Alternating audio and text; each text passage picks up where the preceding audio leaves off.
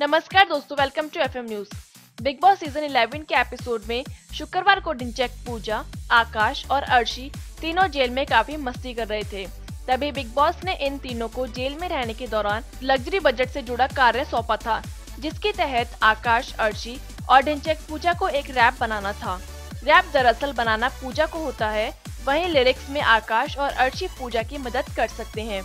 इसके बाद घर वालों को लिविंग एरिया में बैठकर इस गाने को दिखाया जाता है। इस बीच पूजा के इस रैप के चलते सपना काफ़ी गुस्से में आ जाती है। आपको बता दें कि सभी घर वालों के ऊपर पूजा कुछ न कुछ लिखती है। इसको लेकर हिना और सपना को अपने बारे में लिखी गई लाइनें पसंद नहीं आती। इसके बाद हिना और सपना इस कार्यक्रम का हिस्सा बनने से मना कर देती है। पूजा बाद में हिना के कहने पर मनपसंद लाइन रैप में जोड़ देती है।